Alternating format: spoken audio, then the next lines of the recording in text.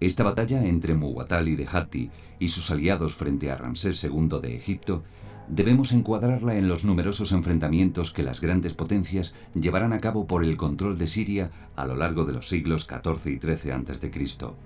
Los ricos recursos económicos y su situación estratégica como punto de encuentro de todas las rutas de la región hacen de Siria la zona más deseada por las potencias del momento. La ciudad de Kadesh a orillas del Orontes, era de vital importancia en el eje de comunicaciones egipcio, por lo que su posesión era crucial para los intereses del faraón. El control de Kadesh y su entorno será el motivo del enfrentamiento entre hititas y egipcios. La paz firmada entre Egipto y Mitanni durante el reinado de Tutmosis IV permitió la creación de una serie de reinos vasallos en las fronteras entre los que sobresale Amurru.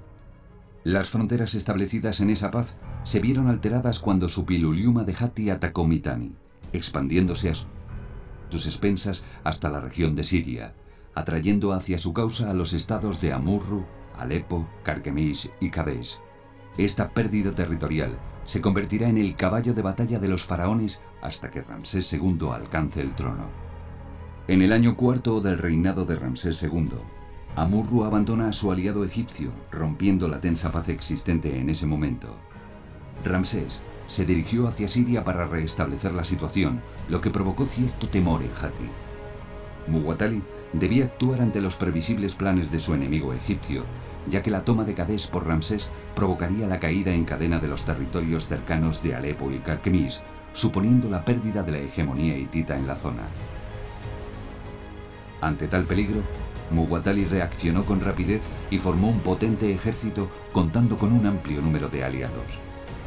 Hatti aportó unos 500 carros y 5.000 infantes. Hakpis ofreció otros 500 carros y 5.000 infantes. Pitasa cedió otros 500 carros y 5.000 infantes. De las tierras del río Seja llegaron 100 carros y 1.000 infantes. Wilusa, Mira y Japala ofrecieron unos 500 carros y 5.000 infantes el pueblo de Luca cedió 100 carros y unos 2.000 infantes. Masa, Carquisa y Araguana dispusieron 200 carros y 4.000 infantes. Kizuwadna, Cardenis, Mitani, Ugarit, Kadesh y Alepo aportaron 200 carros y 2.000 infantes cada uno. Nuhashe ofreció 100 carros y 1.000 infantes.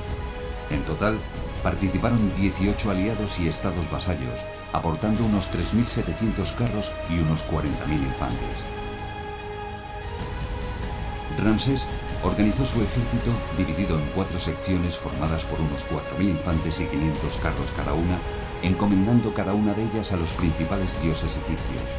Partió desde la capital, Pir-Ramsés, llegó a la fortaleza de Gel, en la frontera, y se dirigió a Gaza por la costa. Utilizando las rutas habituales de anteriores campañas, puso rumbo a Kadesh.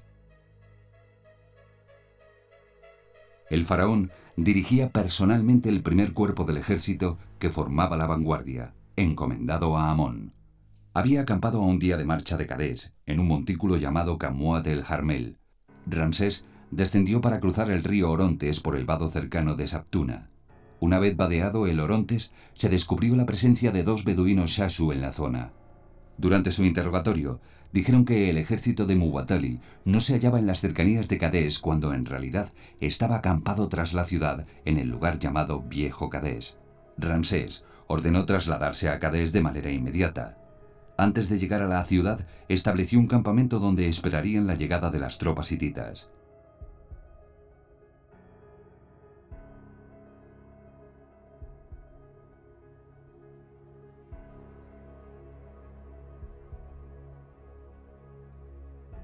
Ramsés pudo constatar cómo las tropas hititas estaban en las cercanías. El ejército de Ra es avisado al amanecer del peligro que corre el faraón y tras atravesar las aguas del Orontes inicia una rápida marcha hacia el campamento de Ramsés, ubicado a unos 10 kilómetros. Muwatalli desde su campamento envió un escuadrón de carros de reconocimiento para comprobar la situación del ejército egipcio. Tras rodear el promontorio donde se encuentra Kadesh y cruzar el Orontes y el Almucadillab, se dirigieron a la llanura para encontrarse por sorpresa con el cuerpo de Ra que se hallaba a poco más de un kilómetro de Kadesh. De entre la espesa vegetación surgió el primer contingente de carros hititas. Los carros egipcios que defendían el flanco derecho fueron literalmente arrasados por la fuerza de combate hitita. A continuación, se llevaron por delante a la mayor parte del cuerpo central de infantería. La resistencia ofrecida por los infantes egipcios fue nula y en su mayoría aprovecharon el desbarajuste para huir en todas las direcciones. A la llanura seguían llegando carros hititas, haciendo más grande la brecha abierta en la columna del ejército de Ra. Los carros de vanguardia tomaron rumbo al campamento egipcio para avisar de los sucesos que acaecían en la llanura. Los pesados carros hititas realizaron una maniobra de viraje en la llanura para encaminarse también hacia el campamento de Ramsés. Los vigilantes de la pared sur del campamento de Ramsés dieron la voz de alarma. Una gruesa columna de polvo procedente de los carros hititas indicaba que se acercaban por esa zona. Los infantes se pertrecharon rápidamente con sus armas, y los carros eran montados en un clima de tensión indescriptible. Los carros hititas se extendieron creando una larga columna que abarcaba toda la pared oeste y norte del campamento egipcio, procediendo al asalto. El ataque hitita estaba cosechando un inesperado triunfo. Ramsés se puso al frente de su cuerpo personal de carros y junto con algunos escuadrones más salió por la puerta este con el fin de contraatacar a los carros hititas. La columna egipcia giraría para dirigirse hacia el noroeste y atacar directamente el flanco izquierdo de la columna hitita. Los carros hititas habían perdido su formación y empuje inicial, viéndose sorprendidos por la maniobra de ataque egipcia. Sorprendidos por el contraataque, las tropas hititas iniciaron una desorganizada retirada en dirección a la llanura por la que habían alcanzado el campamento egipcio. Ramsés comprendió que había retomado la negativa situación inicial y con sus carros, más ligeros y frescos, emprendió la persecución de los carros hititas. Muwatalli estaba observando los sucesos desde un promontorio cercano a Kadesh. Le acompañaba su guardia personal y un amplio número de príncipes y jefes aliados. La huida de sus carros llenó de preocupación a Litita, que decidió abrir un nuevo frente de batalla. Un cuerpo de carros cruzó el río Orontes y puso rumbo al campamento egipcio donde quedaban desguarnecidos los príncipes y su séquito. Cuando los hititas alcanzan el flanco este del campamento, se vieron sorprendidos por un contingente de carros egipcios procedentes del norte. Esta llegada resultó crucial para cambiar el destino de la batalla, ya que la columna hitita emprendió la retirada en dirección a Orontes de manera desordenada y víctima del pánico. Los carros egipcios siguieron a los hititas en su huida. Cuando los hititas alcanzaron el Orontes, se vieron nuevamente sorprendidos por el cuerpo de carros dirigido por Ramsés, procedente del sur. El cruce del río se produjo de manera caótica, pereciendo un buen número de soldados arrastrados por la corriente o ahogados.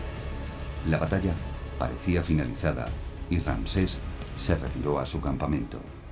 Había vencido, pero sería una victoria pírrica, ya que la debilidad de su ejército le impediría poner en marcha sus aspiraciones expansionistas en la zona, por lo que se puede afirmar que Muwatalli fue el gran vencedor a posteriori de lo que ocurrió en Kadesh.